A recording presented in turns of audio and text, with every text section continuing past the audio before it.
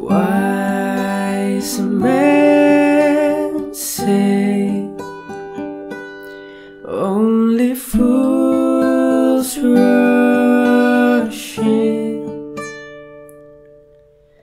but I can't help falling.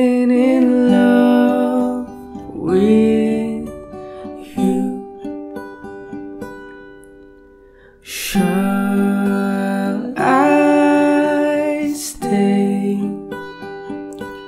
Would it be a sin